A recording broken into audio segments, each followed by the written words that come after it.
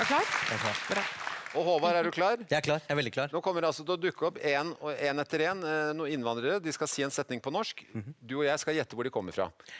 OK, eh, da er vi klare. Vær så god, hva ville du si? Uh, for meg som elsker sjø og natur, er det nydelig med så lang kysseline. Ikke kysseline, men kystlinje, antagelig. Det det, ja. Ja, Håvard, du kan gjette først. Ja, ja, ja. Altså her, da, da skal jeg ha en liten passiara først. Her, her er vi jo eh, vi tror, en engelskspråklig nasjon, er det jeg vil eh, tippe først. Mm. hvor- Hvorfor det? Hvorfor tenker du det? Nei, det er litt den R-en og, og, og på en måte melodien og sånn, mm. som tilsier at det er en eh, engelskspråklig nasjon. Eh, så jeg, jeg trekkes mot uh, det anglosaksiske riket. Jeg, jeg trekkes mot England. Så hva sier du, Håvard? Ja. Altså, dette er å resonnere seg fram til et Ja, ja, men det er jo reson Han resonnerer seg jo vekk fra målet. Det er jo gledelig for meg å høre. Men hva gjetter du på? Uh, vekk fra målet. Nei, bare gjett. Hva tror du? er så veldig kjapp, han, vet du. Jeg er så veldig kjapp. Uh, Si noe. USA! Nei, men du, du skulle jo ikke ha USA! Nei, men du begynte å syke meg ut! Det var det, og så Ja, ok. Jeg tror jo det er, det er jo jeg er klart at det er USA, men eh, da får jeg si Canada, da. Ja. Ja. Ok, hvem er du, og hvor kommer du fra? Hallo, jeg heter Carl. Eh, jeg er fra Irland. Irland? Ja. Du lurte på ah! Jeg skulle si Storbritannia! Den derre Noen ganger er sjøltillit Må ikke gå, må ikke la deg Nei, jeg skal ikke la Ok, Ja. vær så god. Hva har du på hjertet? Jeg får alltid vondt i ryggen når jeg går på ski under skyfri himmel. Dette Du som, du som er, er Her er det. I og Y. Ikke sant? Himmel, ikke noe problem. Mm. Men eh, ryggen? Jeg vet ikke.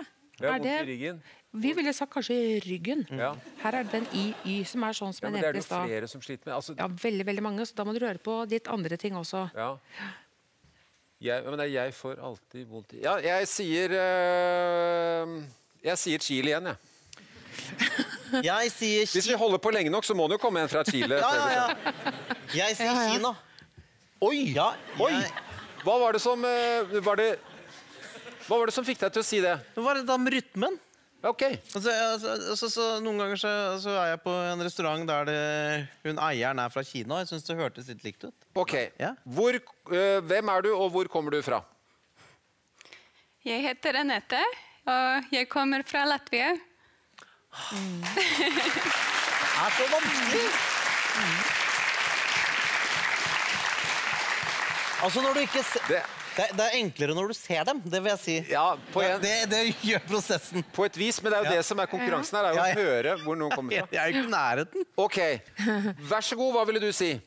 Pokke, jeg glemte passet, brillene og bildebrett mitt. En bil på parkeringsplass. Oi, oi, oi, oi, oi! Jeg vet! Nei! Hva? Nei, det var jo omvendt. Hæ? Nei, Du har pugga reglene. ja, nei men jeg, skulle, jeg hører jo etter det med L og R. Ja. Men hun sa jo 'parkeringsplassen', og ikke Ja. parkeringsplassen. Nei, nei, hun tok jo nei, nei. L og gjorde det om til R. Ja, ja. Kan du si Jeg er frista til å si Chile her, altså. Det kan jeg bare si. Ja, ja, men jeg, jeg, jeg vil bare um... Ok, Håvard, still et spørsmål. Ja. Kan du si Randi reiste til Riga?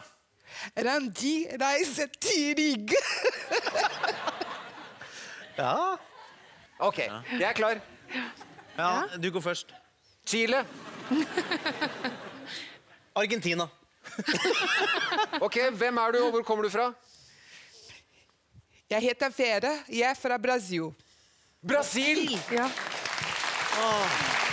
Tusen takk. Det var nesten. For de er jo veldig gode på R, vet du. Ja. Ja.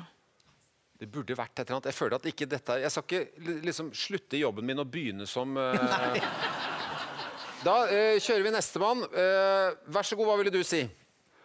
Fransk sanaturen imitaturen ligger begravet rett utenfor lugaren. Men fluene danser likevel.